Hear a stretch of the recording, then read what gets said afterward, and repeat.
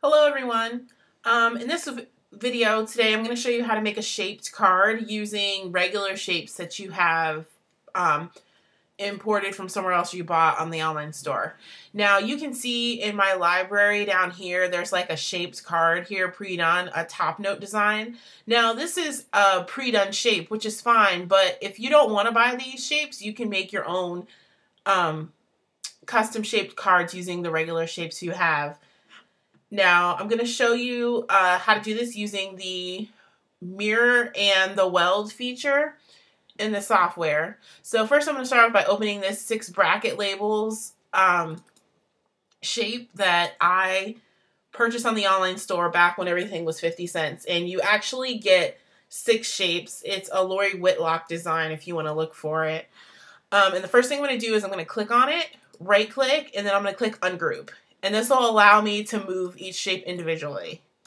Now I'm going to go back by pressing Control Z, and as you can see, if I don't unlock them, they're all stuck here together. I, you have to ungroup them to work with them individually.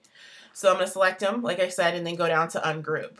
And the shape I'm actually going to use is, for the first one, is this, um, still this kind of top note shape here.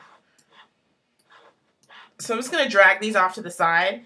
Now you can actually click on these and then hit delete or backspace on your keyboard and they'll disappear from your workspace, but it doesn't change your your file. So if you go create this project, close it out or save it or whatever, and then you open that shape again in your library, it'll still be there.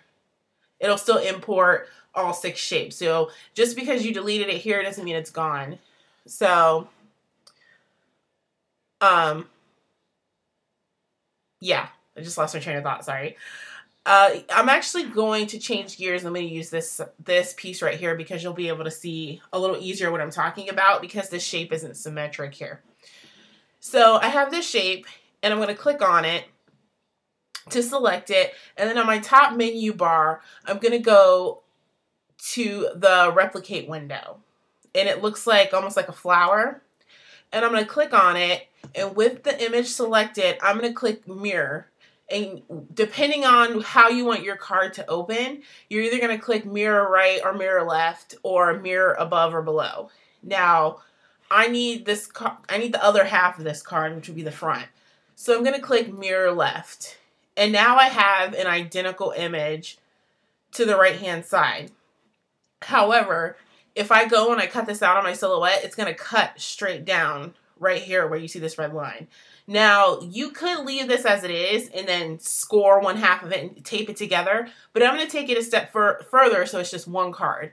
And how I do that is I go in, in and select one of the shapes on one of the sides, and I'm just going to use my arrow keys just until they overlap a little bit.